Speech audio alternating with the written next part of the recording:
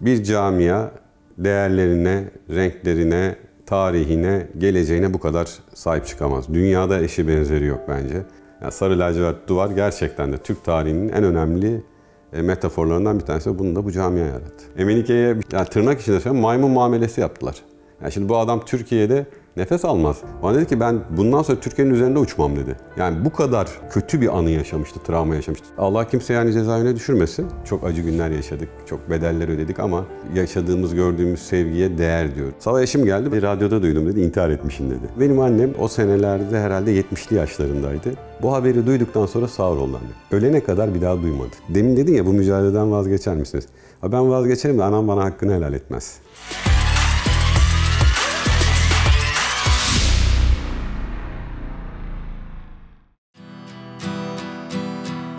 20 Nisan 1966'da İstanbul'da doğdum. Doğma büyüme İstanbul Fatihliyim. Büyüdüğüm semt Davutpaşa sahasına çok yakındı.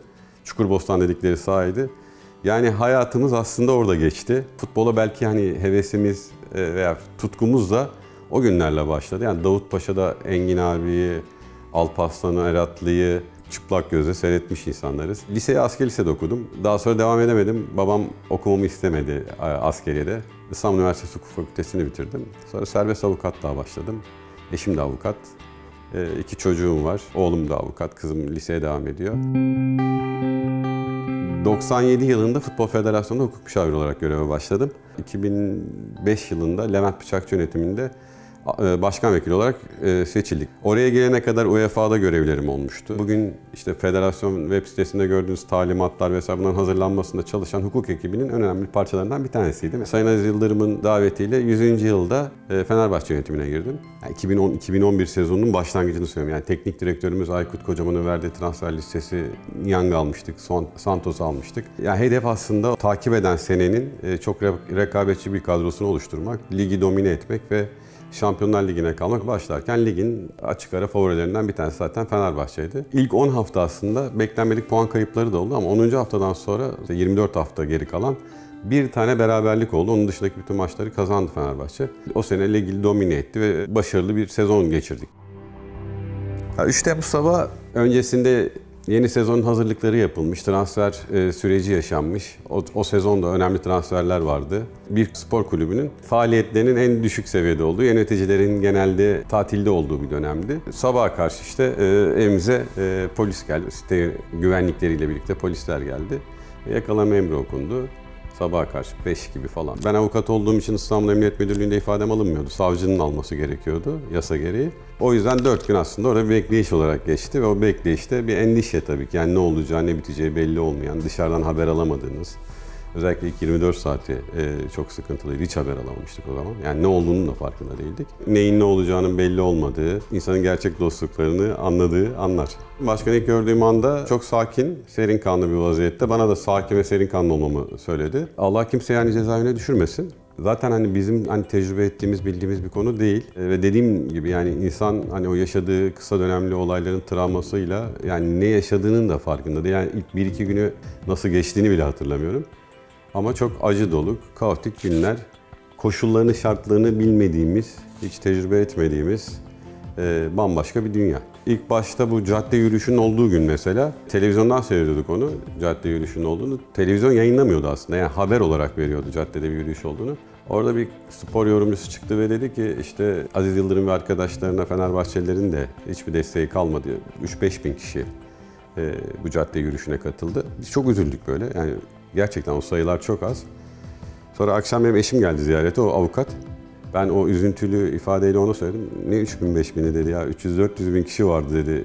Nitekim daha sonra sosyal medya vesaireyle bizim duyduğumuz dışarıda işte taraftarların örgütlenmesi bizim açımızdan tabii ki e, o direnişin e, daha net ve daha güçlü sağlanmasını yarattı. Hayal kırıklığı şöyle, ilk 3 ayı dokunma yanarsın dönemi.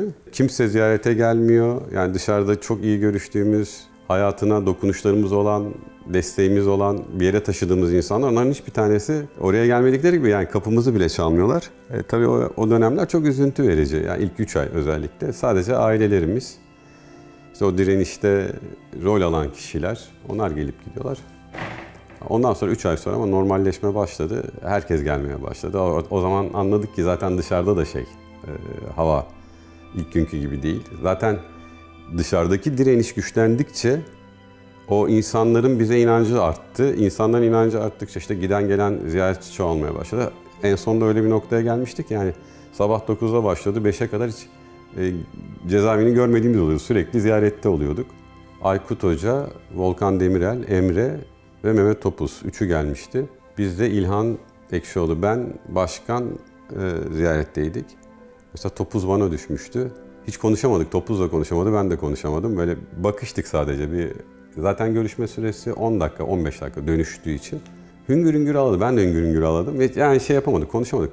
Kelime çıkmadı ağzımızdan. Sonra çıkınca zaten topu böyle çok duygusallaşmış, futbolu bırakmaya kalkmış. Sonra tahliye olduğumda da mesela en çok sevinen oydu. Yani Samandıra'ya gitmiştim. Yani böyle ailesinden biri gibi sarılıp öpüşmüştük. Yani o duygusal paylaşımlar, o destek. Ben söylüyorum bazen böyle abartı geliyor insanlara. Çok insan bizimle birlikte cezaevinde yattı. Dışarıda olmalarına rağmen. Fiziksel olarak dışarıdalardı ama ruhları içeride hep birlikte bizimle birlikteydi. İçeride güçlü kalınmıyor öyle söyleyeyim. Yani ancak hani grup bir arada olduğunda grubun sağladığı enerjiyle yoksa tek başına düşersiniz. Mümkün değil. Başkan tek başınaydı ve o ayaktaydı, direniyordu. Ve onu gördüğümüzde bizde tabii şey oluyordu. Bak başkan hani yaş olarak bizden büyük, görmüş geçirmişliği bizden daha farklı baktığınızda yani oralara hiç layık değil. Direniyor orada, bütün gücüyle mücadele ediyor. O mücadele ederken görünce e, biz de tabii ki yani düştüğümüz her noktada kalkıyorduk. O demin dediğim şeyler işte yani siz ne kadar düşerseniz düşün, sizi bırakmayan bir ruh var. Başkan gerçekten yani yaş olarak da bizden büyük olmasa hani anaç derler hani bu babası bunun. Bizim babamız gibi yani abimiz öyle değerlendir. Ee, hep zaten duygusal olarak da ilişkimiz öyle olmuştur. Benim de, İlhan'ın da, e, Tamer Bey'in de, diğer arkadaşların da. Yani hep sahiplenmiştir. Yani orada da hep eli üstümüzde olmuştur. O yüzden yani başkan o direnişin, içerideki direnişinde, bence dışarıdaki direnişinde en önemli, en tepe noktasıdır. 10 yılın sonunda ancak ceza yargılaması bitti. Şimdi tazminat davaları açıldı. Herhalde bir 10 senede ona bekleyeceğiz. Yani beklemeye tahammülümüz var mı? Yok ama maalesef beklemeye alıştık artık. Belki uluslararası boyutuyla ilgili adımlar atılacak. Bir 10 senede ona bekleyeceğiz. Yani maalesef hayatımızın büyük bölümü, enerjimizin büyük kısmı, kulübün enerjisinin büyük kısmı, taraftarın motivasyonunun büyük kısmı burada bu şekilde harcanıyor. Yani biz bıraksak e, zaten camia bize bıraktırtmaz bunu. Asla bırakmayacağız. Yani. Ya bak en komik şeylerden bir tanesi bu ama en dramatik şeylerden bir tanesi bu. Ee, şimdi benim eşim sabah da geliyordu, akşam da geliyordu. Yani sabah işe gelirken uğruyordu, akşam da işten dönüşte uğruyordu. Sabah eşim geldi. Ben de o gün çok keyifliydim. İnanılmaz. Yani insanın cezaevinde keyifli olacağı bir an yoktur ama ben o gün çok keyifliydim. İşte avukat görüş odasında görüşüyorduk. E, bende de böyle bir bisiklet yaka şey vardı, tişört vardı üzerimde. Ya dedi, şeyini görebilir miyim dedi boğazını. Ya dedim zaten görüyorsun bütün boğazım ortada. Ya dedi gelirken dedi radyoda duydum dedi intihar etmişsin dedi. ya çok tabii yani garibime gitti bir karşı karşı. Ya görüyor öyle mi görünüyorum dedim. Yok dedi hiçbir şey gözükmüyorsun. Yani ben şaka olsun deseydim ama böyle bir haber var dedi. Yani çok güldük, eğlendik biz. Geldik koğuşa da söyledim. Ben intihar etmişim dedim. Herkes güldü müldü. Şimdi bu trajik komik kısmı. Benim annem e, o senelerde herhalde 70'li yaşlarındaydı. Bu haberi duyduktan sonra sağır oldu annem. Ölene kadar bir daha duymadı. Şimdi bu da dramatik kısım. Demin dedin ya bu mücadeleden vazgeçer misiniz? Ben vazgeçerim de anam bana hakkını helal etmez. Bunları yaşattılar bize. O hiç hak etmiyordu bunu. Yani ne futbolla ilgisi vardı ne bir şeyle ilgisi vardı. Bu haberi yapan insan bunu niye yaptı? Ne elde etti? Ömür boyu duymamasına sebep verdiler. Yani böyle bir trajedi. Kızım o zaman ufaktı. 6 yaşındaydı. Okula yeni başlamıştı. O mesela duygusal olarak hep şey diyormuş e, öğretmenine. Tabii okul çıkışı görüyor. Veliler var orada. Özellikle bu işte ilk ee, anaokulundan geçip birinci sınıfa geçen çocuklar için babaları falan da geliyor. Benim babam da gelecek bir gün diyormuş. İşte ben de çıkınca ilk pazartesi günü e, kızımı karşılamaya gittim. Yani okul çıkışına gittim. İnanamadı, şok oldu ve e, sarıldık falan, orada. E, tabii inanılmaz bir duygu. Yani ona onlara yaşattık bunları aynı zamanda. O yaşattığımız e, şeyler belki onları güçlü kıldı, belki büyüttü hayatta ama ağır yaşadılar yani çok kolay değildi. Batu her hafta Metris'e geliyordu. Ben kıyamam onu karakola göndermeye. E, babasını düzeltmek için cezaevine geliyordu. Fenerbahçe. En büyük darbeyi yani sportif başarı mutlaka bir gün sağlanır ama ekonomisinde yedi. O 3-4 sene yani sponsorluk gelirlerinin en zayıf olduğu dönemler, işte UEFA kupalarından men, edildiğiniz için oradan alınan gelirlerin azalması, şirket hisselerinin değer kaybetmesi, işte kredilerinizin teminatsız kalması. Onlar gerçekten kulübü yordu. Diğer e, rakipler sadece sahaya yoğunlaşırken biz saha artı bu davalara, bu olayların sonuçlarını ortadan kaldırmaya mücadele eden bir kulüp haline dönüştük. Yani bugün hala işte o yapının uzantılarının sporun içerisindeki olumsuz etkilerini konuşuyoruz ve bu etkilerden arındırmak için bir mücadele veriyoruz. Fenerbahçe camiası gerçekten çok sağlanmış. Yani hiçbir kulübün buna dayanma ihtimali yok. Yani yıkılırdı, yok olurdu. Fenerbahçe'nin önünü kesmek için ellerinden ne geliyorsa yapıyorlardı. Yani e, bir kulübe yönelik sponsorluklara bakıyorsunuz. Kendinize olan sponsorluklara bakıyorsunuz. Mesela sponsorluğun geçmişine bakıyorsunuz. Kesintisiz 20 yıl size sponsorluk vermiş bir yapı. 3-4 yıldır hiç sponsorluk vermiyor. vermiyor. Sonrasına baktığınızda ya orası tehdit ediliyor ya ekonomik şartları zorlaştırılıyor. Yani bir şekilde e, size karşı bir ambargo uygulanıyor. Yani fiili veto uygulanıyor. E, çok vardır yani böyle e, önemli sponsorları zaten kaybettiğiniz gibi de onlara da şöyle bir korku sanılıyor. Yani o dediğim korkunun dışında. Ya Fenerbahçe küme düşecek. Ya adam sponsorluk sözleşmesi yapacak seninle. Küme düşecek bir kulüple yapabilir mi? Yani bunu sözleşmeye yağdırmak isteyen sponsorlar çıktı. Olabileceğine ihtimal veren e, Fenerbahçeliler vardı. Ve bunlar önemli insanlar. Bugün de Fenerbahçeliyim diye ortada dolaşıyorlar. Yani 3 Temmuz süreci başladığında zaten e, transfer penceresi açıktı ve transfer çalışmasını başlatmıştık, yapıyorduk. Şu futbolcuya gittik veya şu futbolcuyu da alacaktık yani de, diyemem ama yani bize verilen listede veya işte bizim için de görevli olduğumuz listedeki olan futbolcuları almıştık. Tunay Torun'la görüşmüştük, olmamıştı. Mehmet Ekici ile görüşmüştük. Daha Türkiye'ye gelmemişti Mehmet Ege. Selçuk İnan'la görüşmüştük. Son ana kadar Galatasaray imzalamıştı, bize imzalamamıştı. O günün koşullarında mesela Emenike'nin Rusya'ya transferi. Yani kaçınılmazdı. Ben hatta işte biz tutuklandık, bizi ilk yöneticiler ziyarete geldi. Ben dedim ki Emenike'ye bir şey yapmanız lazım. Niye dediler? Yani çünkü göz altındayken yani tırnak içinde söylüyorum maymun muamelesi yaptılar. Yani şimdi bu adam Türkiye'de nefes almaz.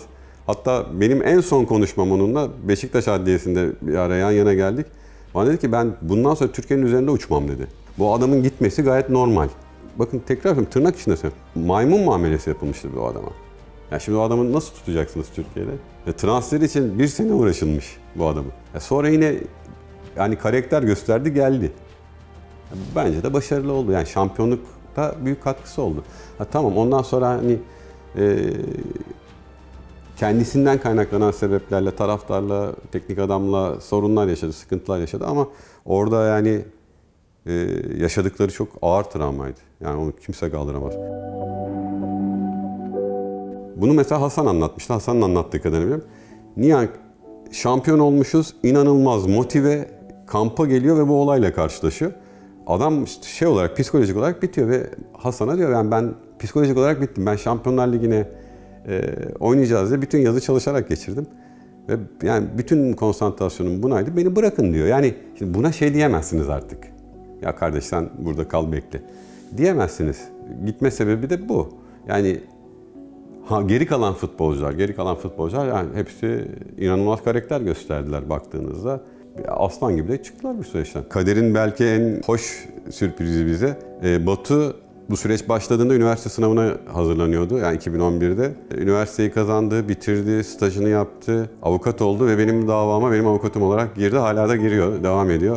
Bu açtığımız tazminat davalarında benim avukatım.